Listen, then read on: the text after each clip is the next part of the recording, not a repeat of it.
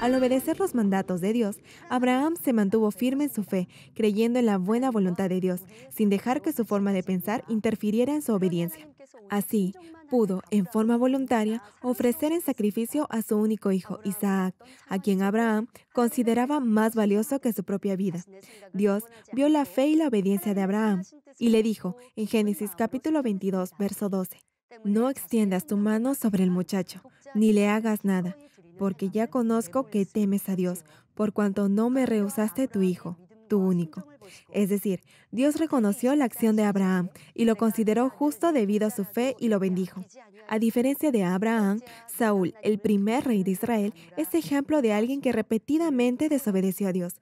El pasaje bíblico de hoy, en 1 de Samuel capítulo 15, versos del 22 al 23, detalla el episodio cuando el profeta Samuel reprende severamente a Saúl. Y Samuel dijo, se complace Jehová tanto en los holocaustos y víctimas como en que se obedezca a las palabras de Jehová. Ciertamente el obedecer es mejor que los sacrificios y el prestar atención que la grosura de los carneros, porque como pecado de adivinación es la rebelión y como ídolos de idolatría la obstinación. Por cuanto tú desechaste la palabra de Jehová, él también te ha desechado para que no seas rey. Ahora bien, ¿qué había pasado con Saúl?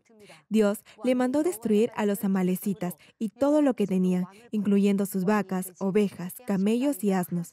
En vez de hacerlo, el rey separó lo mejor del ganado. En ese momento, el profeta Samuel reprende a Saúl. No obstante, el rey, en vez de admitir su culpa, da excusas absurdas, culpando al pueblo. Y a pesar que había pecado contra Dios, Saúl le pide a Samuel que lo honre frente al pueblo. ¿Se imaginan lo insólito de esa petición? Luego que su corazón se fue entenebreciendo por la maldad, Saúl exteriorizó su arrogancia a tal punto que ni siquiera tenía temor de la palabra de Dios. Y Dios no tuvo otra alternativa que quitar del trono a Saúl. La pregunta es, ¿por qué desobedeció Saúl el mandato de Dios? Fue porque hizo lo que creyó que era correcto. Dios, repito, le mandó destruir a los amalecitas. Y Saúl salió con el ejército a sitiar la ciudad de Amalek. Retornó de la batalla triunfante. Así que debe haber pensado que había obedecido el mandato de Dios. Ahora bien, Dios le pidió a Saúl que acabara con Amalek y con todo lo que tenían. No le dijo que dejara con vida a su rey y al ganado que consideraba bueno. No obstante, Saúl hizo precisamente eso. Hermano, desobediencia es desviarse de la voluntad de Dios, no obedecerla y hacer lo que uno cree es correcto y bueno. Algo que debe entender y recordar es que cuando alguien hace lo que cree que es correcto, no podrá obedecer a Dios. Obediencia es hacer exactamente lo que Dios le pide hacer. La verdadera obediencia no se determina por hacer solo lo que quiere hacer o hacer lo que usted considera se debe hacer, sino se trata de hacer exactamente la voluntad de alguien más. Esto también se aplica a la relación entre Dios y nosotros. Pregunto, ¿usted obedece de acuerdo a la voluntad de Dios? ¿Hace todo lo que está en la palabra de Dios sin cuestionar ni dudar? Quizás se pregunte, ¿por qué Saúl fue tan necio de desobedecer la palabra de Dios de esa manera? A ver, les propongo algo.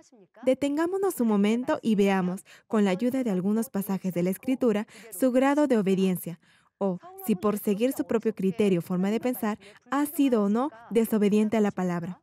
Bien, leamos Primera de Tesalonicenses capítulo 5 versos del 16 al 18. Estad siempre gozosos, orad sin cesar, dad gracias en todo, porque esta es la voluntad de Dios para con vosotros en Cristo Jesús. Este pasaje debe resultar familiar para todo cristiano. No obstante, que sea conocido no significa que todos lo obedezcan.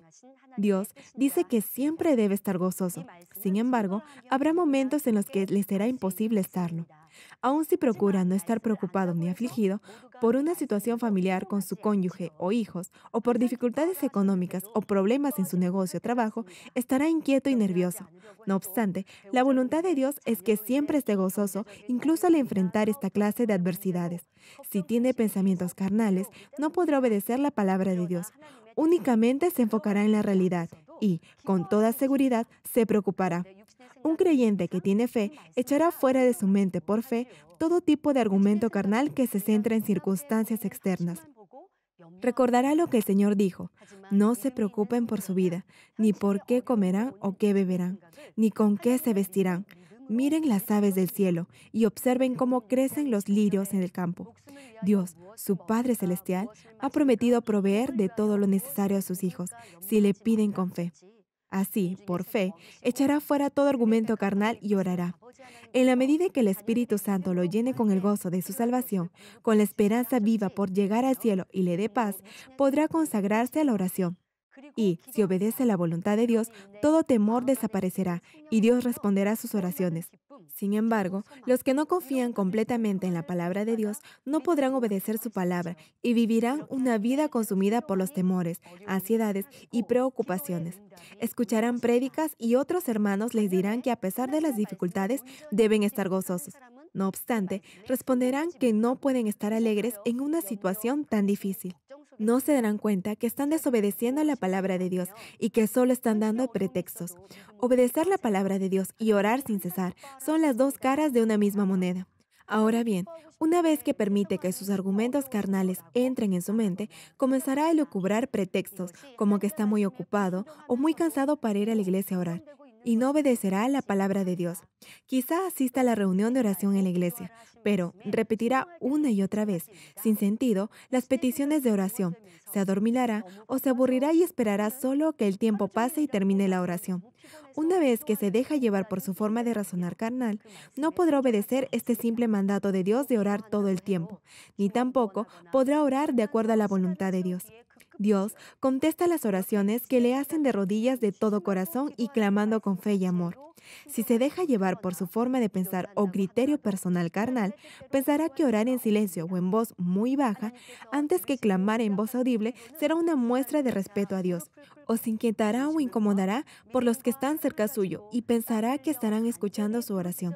Si ora de acuerdo a su criterio y forma de pensar, dejándose llevar por sus argumentos carnales, estará desobedeciendo la voluntad de Dios y su oración no será respondida. En resumen, son los argumentos y razonamientos carnales los que le impiden obedecer el mandamiento de Dios de dar gracias siempre en todo y por todo. Una pregunta. ¿Han examinado su nivel de obediencia a la luz de este breve versículo? Estad siempre gozosos, orad sin cesar, dad gracias en todo, porque esta es la voluntad de Dios para con vosotros en Cristo Jesús. En la medida en la que insiste en su forma de pensar o criterio propio, no podrá obedecer ningún versículo de los 66 libros de la Biblia. La palabra de Dios muy a menudo, o casi siempre, entra en total conflicto con su sentido común o razonamiento. Por ejemplo, el que se humilla será exaltado. Si desea ser el mayor, primero deberá servir a los demás. Si alguien lo golpea en la mejilla derecha, muéstrele también la otra. Si alguien le pide la túnica, dele también la capa. Si alguien, en contra de su voluntad, le obliga a cargar algo por cinco kilómetros, vaya con el 10. Ame a sus enemigos, etc. En la medida en que tenga un corazón egocéntrico, no podrá obedecer ninguno de esos mandamientos, tal como señala Romanos capítulo 8, verso 7. Por cuanto los designios de la carne son enemistad contra Dios, porque no se sujetan a la ley de Dios ni tampoco pueden. Debido a sus pensamientos carnales, no podrá obedecer la palabra de Dios. Sin embargo, una vez que haya derribado todo argumento carnal, podrá obedecer la palabra de Dios.